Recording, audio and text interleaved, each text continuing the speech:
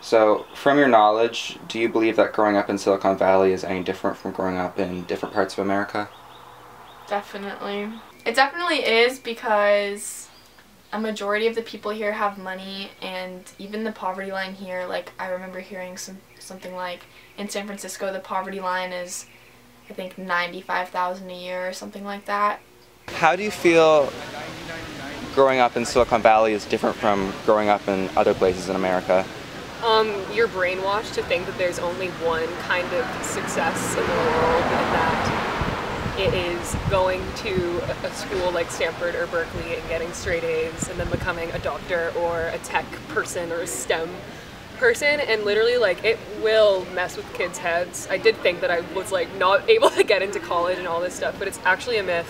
Um, I think definitely yeah, because I feel like we have a lot more tech influence because we have like places like Google and stuff like that, and they're like really prominent here. And then I feel like, oh, like the wealth, like there, it's like way different in terms of like other countries and or not countries, sorry, states, and like we have like something. This is like literally the richest place to live in, so I feel like that definitely changes things in terms of like growing up experience because like we're so used to like seeing more wealth in our daily lives. But yeah, I think we definitely do have a lot more opportunities here.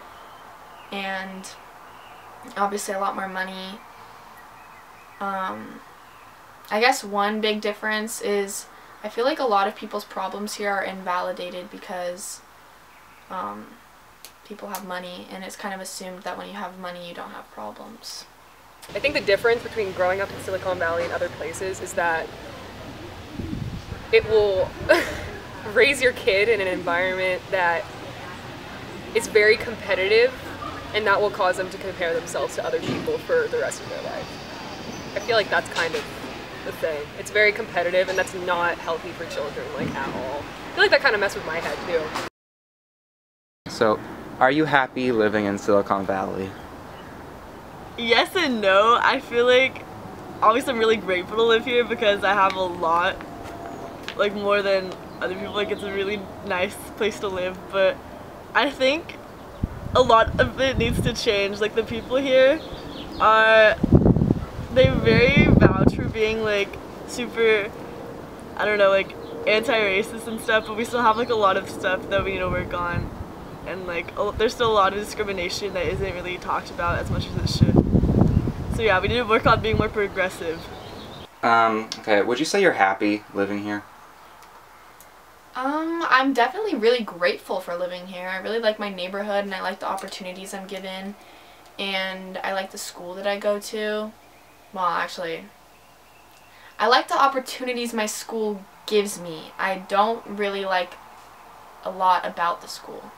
But for the most part, I am very grateful for living here. It just gets a little bit annoying to.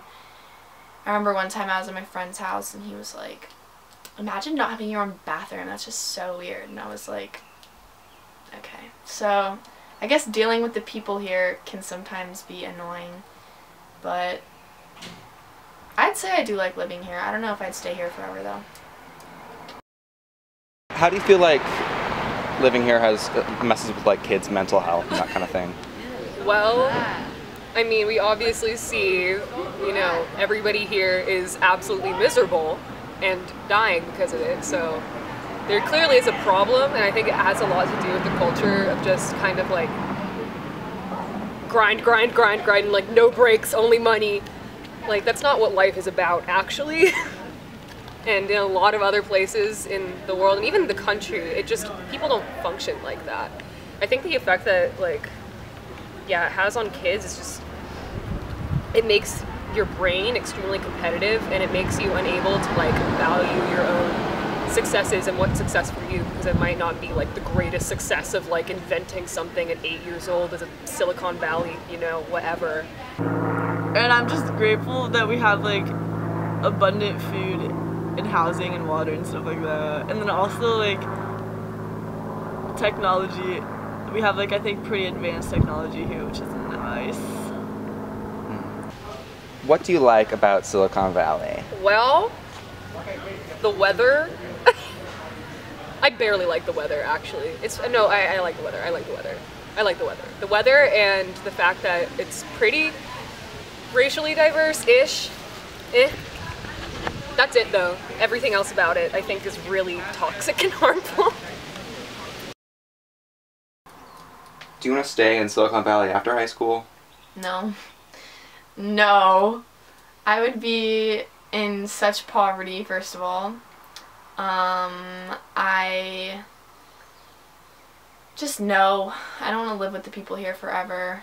Like, I want to see what else there is out there. And, um, I, I, I can't say this without offending a lot of people. just about me hating some of the people here. So no, I don't want to stay. Do you want to stay here after high school, or do you plan to go elsewhere? Um, I plan to still stay in California because I think it's just gonna be cheaper, or not necessarily, but it's gonna be like, I don't know, I just like California, so I think I'm probably gonna stay here, but I'm gonna move to like more Southern California instead of like the Bay. I want to get out of the Silicon Valley for sure.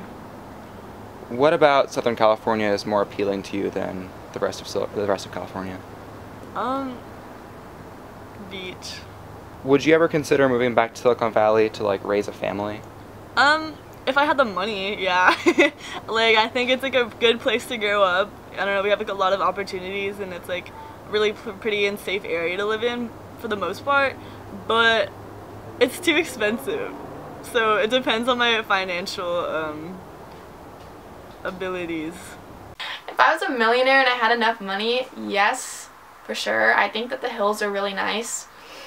Um, I don't know if I would want to live where I live now though, in Mountain View, because yes, it is really nice and I'm really grateful to live here, but I don't want to pay like three million for 2,000 square feet. That's just outrageous. And I and like once again, I feel like a lot of kids' perception of money here is skewed, and even adults. I remember my uncle poor shaming someone who made 200,000 a year. Um, and I was like, what, like, I don't know. So, eh, maybe. Probably not, though. If I'm rich enough, yeah. What are some challenges that you think are specific to teens in Silicon Valley? I think the pressure is definitely higher here. There's like a lot of heavy expectations that I feel like should be worked on as well. So I think like especially academically, people are like pressured a lot to like have so many AP classes and like do all the ton of sports. So like I think that contributes to mental health a lot. A lot of the kids' perception of money here is really skewed and they I remember one time sitting at lunch and being told that a hundred thousand a year, so like a six figure salary, wasn't a lot. And that really like messed with my head because I was so confused about money and what was considered a lot and a little bit because I don't know, you always hear like, oh, six figure salary, like you made it, but then you hear someone in Los Altos living in their five million dollar house say, six figures? That's not even livable. It was just like, oh. I feel like kids definitely are going to compare themselves to other kids more than opposed to ones who aren't raised here. And also they probably just think that they're dumber which is sad. I mean there's like such a culture of intellectuality and that being the epitome of what is valued and what is good that i feel like it kind of puts kids who are like you know some kids just aren't smart. That's fine. But i feel like that that stress on intelligence is going to mess with, you know, a lot of kids' self-esteem. It's okay to be average, but here it's like you cannot be average. Only super prodigies get recognition in any kind of way. So, yeah. Cool. That was great. Thank you. That's really Thanks.